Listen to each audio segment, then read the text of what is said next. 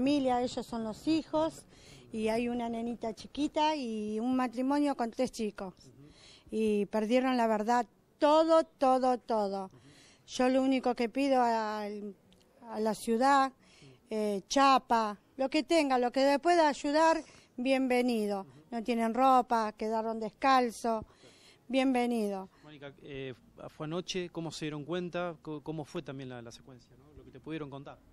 Por el perrito. El, per- perrito de la familia. El perrito de la familia saltaba en la cama y ellos pensaban que, que no sé, que el perro quería jugar. Y cuando saltaba, saltaba, era que, era que estaba avisando el fuego. Entonces, había humo y Había impresionante de humo y el fuego. Una fogata bárbara, el humo impresionante.